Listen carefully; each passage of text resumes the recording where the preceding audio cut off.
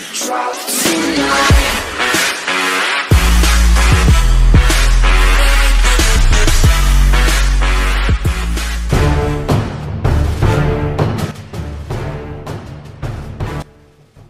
we first drove the Cayman GT4, we suggested that the lowliest motorsport grade Porsche road car was basically a gateway drug, the sort of entry-level thrill that, as reefer madness warned our grandparents, would lead to more serious and expensive addictions.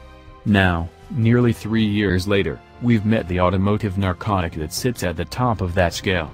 On the basis of our first hit in Portugal, we suspect the new Porsche 911 GT2 RS could be the most potent automotive psychotropic of them all.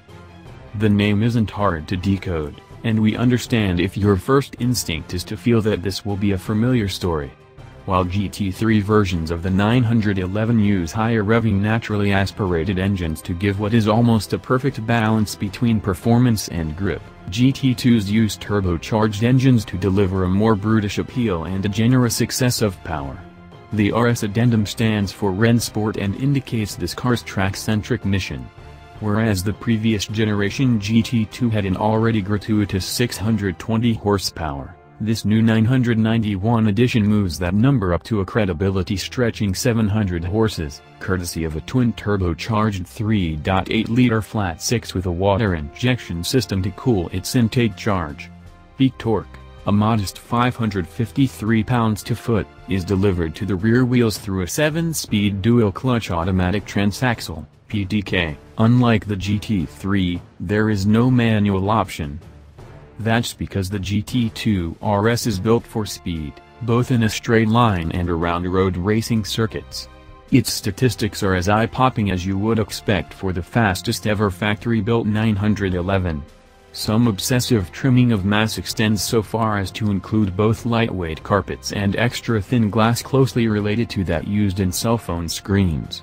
The optional weight trimming Weissach package shaves 40 pounds at the cost of an extra $31,000, with Porsche claiming a curb weight of just 3,241 pounds, although that means foregoing both the infotainment system and air conditioning. Small wonder that Porsche claims a 2.7 second 0 to 60 mile per hour time and that we estimate the car can burn a quarter mile in 10.3 seconds. The top speed is, get this, limited to 211 miles per hour, in the interest of keeping the track-biased tires in one piece. All such figures are subsidiary to the one number that Porsche's motorsport engineers are proudest of, the one that defines the car's core purpose.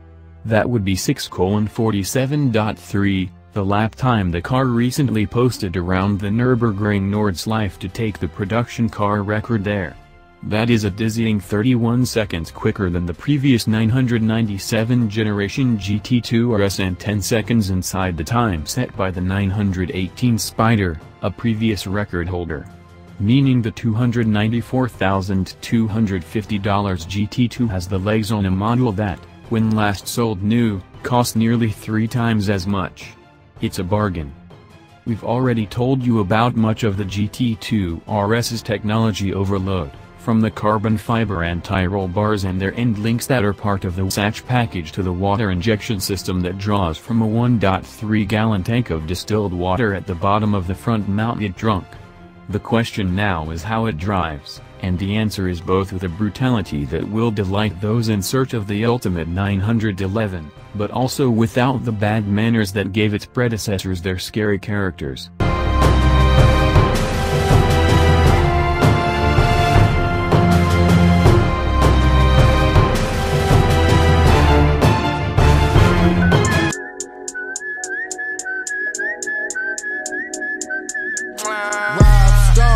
Damn phones, Babylon's came.